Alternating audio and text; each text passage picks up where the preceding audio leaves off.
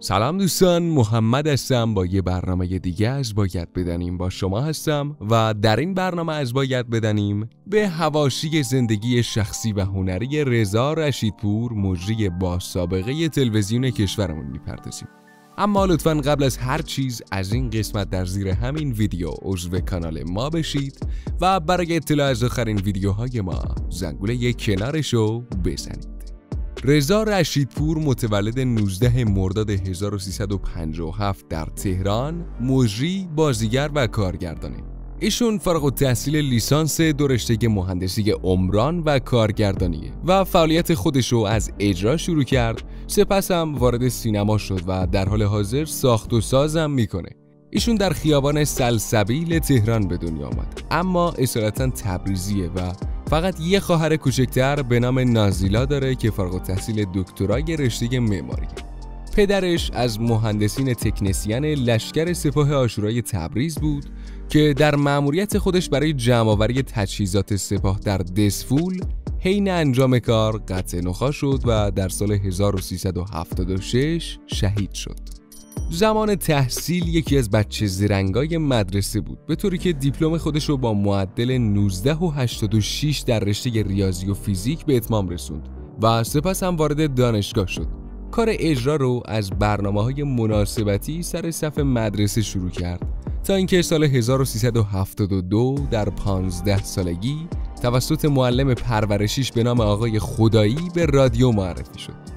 ایشون یه روز بعد از تست و قبولی کار خودش رو به عنوان گزارشگر شروع کرد سپس سال 1375 توی 18 سالگی اجرای برنامه طعم پاییز رو توی تلویزیون بر عهده گرفت. رشید پور سال 85 با اجرای برنامه گفتگو محور مثلث شب شیشه‌ای در شبکه تهران نشون داد که مجری توانمندیه سپس برنامه عبور شیشه‌ای و مثلث شیشه رو با محور گفتگو با سیاستمداران جلوی دوربین برد که نهایتا به خاطر سوالات تیز برنامه توقیف و ایشون هم ممنوع تصویر شد. بعد از ممنوع تصویری به کلاس های خلبانی رفت تا اینکه مدرک خودش رو برای خلبانی ایرباس سری 300 دریافت کرد. سپس هم تصمیم گرفت که بازیگر بشه. ایشون در سال 87 وقتی سی ساله بود در فیلم سوپر استار به کارگردانی و نویسندگی تحمین میلانی اولین تجربه بازیگریشو به دست آورد. سال 87 توی فیلم بیپول حضور داشت تا اینکه سال 89 در فیلم امتداد شهر بازی کرد و سپس هم شیشوبش سال 90 و قاتل اهلی سال 96 رو بازی کرد. آقای رضا رشیدپور در سال 82 وقتی 25 ساله بود با خانم نقمه مهرپاک 28 ساله که اون زمان مجری رادیو بودن ازدواج کرد که آشنایی این دو نفر از یه اجرای مشترک شروع شد. ثمره این ازدواج یه دختر به نام هلنی. نقم مهرپاک همسر آقای رشیدپور متولد 15 خرداد 1354 و فعالیت خودش رو از سال 76 با اجرا در رادیو شروع کرد. سپس مدتی بعد وارد اجرا در تلویزیون شد. ایشون بعد از به دنیا آوردن فرزند خودش دیگه با رادیو و اجرا همکاری نکرد. تا به حال چندین بار خبر جدایی و طلاق رضا رشیدپور از همسرش منتشر شده که معمولا صحت نداشتن و این زوج در کنار هم به خوبی و خوشی زندگی می‌کنن رضا رشیدپور در کنار اجرای یک شرکت فنی مهندسی طراحی و ساخت داره و در پروژه های بزرگ عمرانی در سطح نیروگاه سازی و پتروشیمی فعالیت می‌کنه ایشون همچنین یک هلدینگ از شرکت هواپیمایی ایرانیان داره و خدماتی مثل تور، آموزش پرواز هواپیماهای سبک و لاین تفریحی رو ارائه میده. آقای رشیدپور مدتی در شبکه ماهواره ایرانیان مجری برنامه شب شما بخیر بود. ایشون در سال 92 هم اجرای همایش های انتخاباتی حسن روحانی رو بر عهده داشت. این مجری که سالها در تلویزیون ممنوع تصویر بود بعد از روی کار آمدن حسن روحانی بالاخره تونست که در اسفند 94 به تلویزیون برگرده با اینکه ایشون از علاقمندان تماشای فوتباله اما تا به حال یه بار هم فوتبال بازی نکرده. اما به جاش علاقه خیلی زیادی به شنا و بازی بیلیارد داره. ایشون در میون همشهری های تبریزی خودش میگه که طرفدار تراکتوره. اما در تهران خودش رو یک طرفدار پرسپولیسی معرفی می‌کنه. در بهمن ماه سال 1395 رضا رشیدپور در زمان اجرای برنامه زنده حالا خورشید از هوش رفت. که بعد از اعزام به بیمارستان مشخص شد که ایشون سکته قلبی کرده.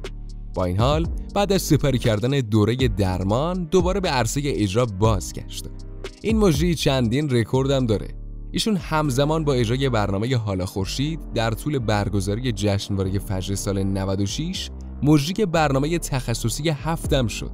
همچنین به عنوان مجری گفتگوی زندگی تلویزیونی حسن روحانی نیز در قامت مجری خبری ظاهر شد.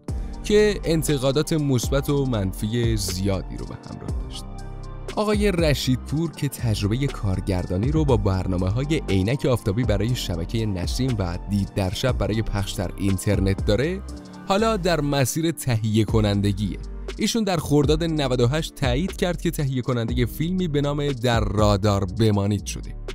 در شروع سال 99 علی علیزاد تحلیلگر سیاسی ساکن لندن بحث دستمزد 20 میلیون تومانی رشیدپور رو برای هر قسمت از اجرای برنامه حالا خورشید مطرح کرد. جدال توییتری رشیدپور و علیزاده حسابی داغ شد تا در نهایت شبکه سه شفافسازی کرده و دستمزد ایشون رو چیزی در حدود یک و نیم الا دو میلیون برای هر برنامه اعلام کرد. رضا رشیدپور که در آخرین روز اسفند از ممنوع تصویری صدا و سیما درآمد خیلی زود تدارک برنامه جدید گفتگو محور رو در تلویزیون کلید زد و در دومین گفتگوی خودش با استاد جمشید مشایخی در برنامه‌ای به نام سفر سفر جنجال آفرید. توی این مصاحبه رشیدپور در مقابل سخنان متعصبانه مشایخی در مورد جلوگیری وی از خوندن همسرش کار ایشون رو تایید کرده و گفت که انتظار جزئی نداشته. توی دیماه سال 94 همزمان با پخش برنامه دید در شب به مجریگری رضا رشیدپور ماشین ایشون مورد سرقت قرار گرفت. ایشون در این باره گفته که جلسه اتاق فکر دید در شب ساعت دوازده و نیم تموم شد. برگشتم به دفتر کارم که لوازم شخصیمو بردارم.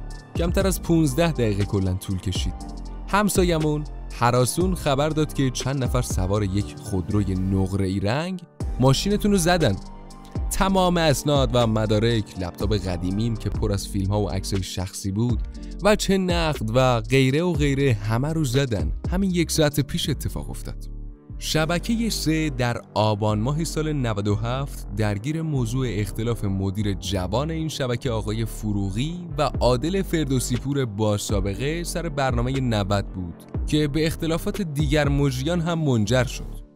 موضوع از اونجا شروع شد که زهرا رکویی مجری خبر 22 شبانگاهی به علت دیرپخش شدن اخبار قبل از شروع خبر توی یک اقدامی عجیب از مردم به علت اقدام غیر حرفه‌ای و هماهنگ نشده پخش شبکه سه عذرخواهی کرد.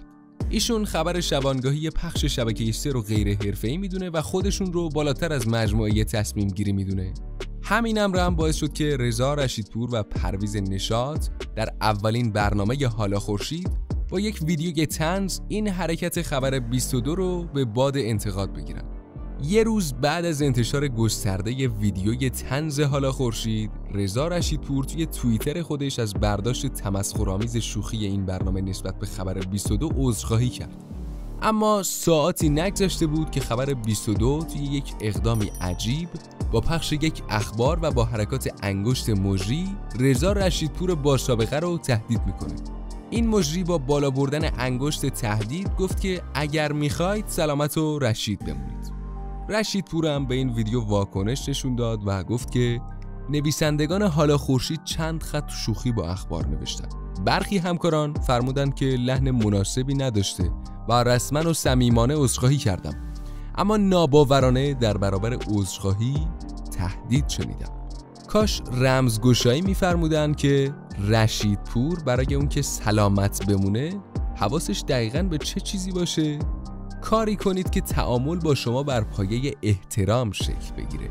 نه ترس از سالم موندن. خب دوستان عزیز مرسی که با لایک کردن و گذاشتن کامنت از ما حمایت می‌کنید. اگر به برنامه های ما علاقه مندید می‌تونید از زیر همین ویدیو و از طریق دکمه subscribe عضو کانال ما بشید و با زدن علامت زنگوله کنار اون اولین نفر از ویدیوهای ما با خبر بشید. تا برنامه بعد خدا یار و نگهدارتون.